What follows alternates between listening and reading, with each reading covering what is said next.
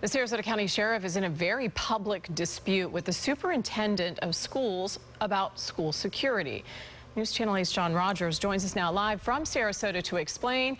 Disagreements among officials are not unusual, but one to play out so publicly, that's a different story. It really is, and the kids' safety is at stake, Jen. And one of the big points the sheriff's making is about Riverview High School. This is one of the largest high schools in the district. The school district only wants one SRO here, and the sheriff thinks that's a bad idea.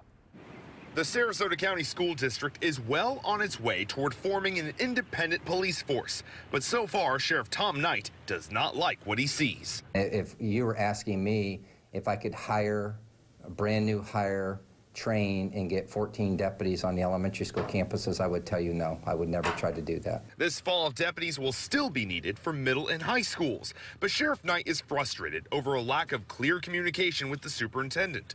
And he's really infuriated over the district's request to only have one deputy at Riverview High. I will not mislead the public. I will not send a message to the public in cooperation with the school district that safety and security of the children is first and foremost when they want to remove police officers, deputies from one of the largest campus, busiest campuses in the school district. Can the students in that school be properly protected with one SRO? Absolutely, absolutely. We've had a single officer at Sarasota High School. We've had a single officer at Booker High School. Superintendent Todd Bowden is willing to speak with the sheriff about his concerns face to face. And I think everybody has to come into the room with an open mind.